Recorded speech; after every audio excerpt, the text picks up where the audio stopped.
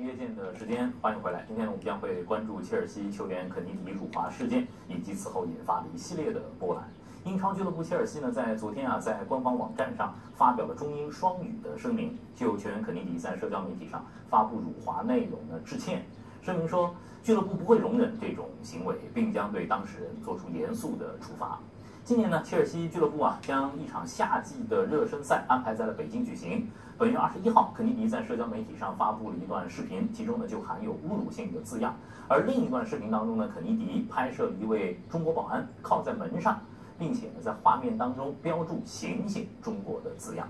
此举遭到了中国球迷的抗议。今天呢，肯尼迪本人也是第三次发表了致歉声明，表示自己从来都没有打算侮辱或者冒犯任何人。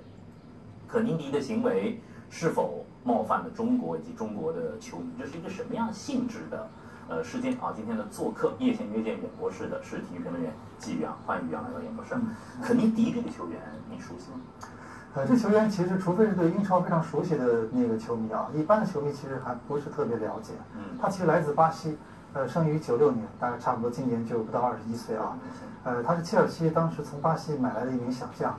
上个赛季一度是租借给了别的俱乐部，然后夏季的时候回到了这个队啊，跟着他们一起到到来了中国。是切尔西在中国踢热身赛，但是呢，他却发表了这样的不当的言论，可以说是非常不恰当的一个行为。对，关键这个时间也确实非常不恰当。就是咱们有时候说啊，咱们戏称说咱们中国足球呢啊，以前开玩笑说我们人傻钱多啊，但是我觉得我们还是需要起码的尊重，尤其在咱过去的上上上个礼拜啊，我们看到。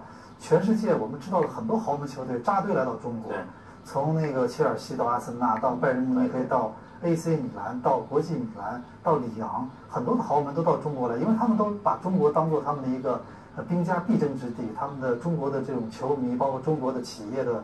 赞助对他们来说都非常重要，这是个巨大的市场。偏偏在这个时候，我觉得他呢可能说的这个话啊，对中国确实不是非常尊重，所以我觉得引起了这么大的轩然大波。对很多的球迷啊，情绪是比较激动的，把它定性为是一个辱华事件。呃，你让怎么看？看的性质？呃，我觉得一定是这个事情。我觉得呃，因为它里面非常明确，不像其他，比如之前我们也知道过有些事件，可能当事人会辩解。那比如之前我们知道拉维奇有一个所谓的一个风波啊，当时他会辩解。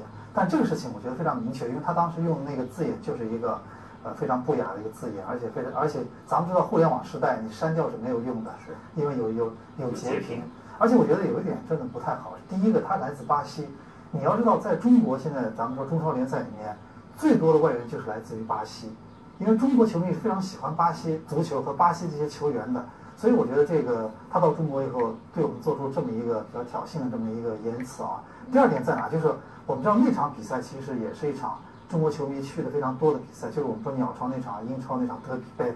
呃，据我所知，现场到了五万多名观众，而且球票非常的贵。这些球队到中国来的出场费都非常贵。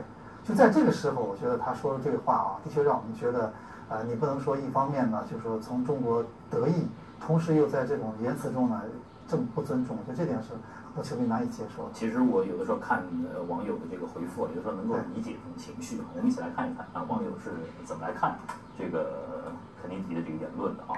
那一方面，呃，这个切尔西来了，大家都非常高兴啊，球迷们趋之若鹜。然后一位球迷就说呢，希望该球员反省自己的言行啊，践行正道，真正成为德艺双馨的优秀的球员。说实话，我不知道为什么，呃，像是被刺了一刀，疤痕。永呃疤痕永在的感觉，原来这么爱切尔西，现在呢居然和他觉得有点疏远，我觉得这挺有代表性的。就是嗯，肯尼迪的话其实刺痛了球迷，甚至是打破了中国球迷和切尔西之间的这种共同体的这种关系。啊，是的，所以你看切尔西这个俱乐部在事发之后，我觉得他们也是很很紧张嘛，当时很快做出了一系列的这种道歉。还有一点我们想说一点，就是有一年我们去当时去呃英超去参观啊。在曼城俱乐部的青训基地墙上就写着这么一排的这种排比句，就是说他们说年轻球员应该像职业球员那样去吃，那样去训练。最后一条就是什么呢？就像职业球员那样去发这种自己的社交媒体。这点他是非常看重，就是说职业球员不光在中国，在国外也是，你自己发这个自媒体去那些言辞，其实代表的是你俱乐部。但你发的时候可能很随意，你手指头一按就出去了。但是最终我们看到结果是影响了很多中国的切尔西球迷的感情。是的。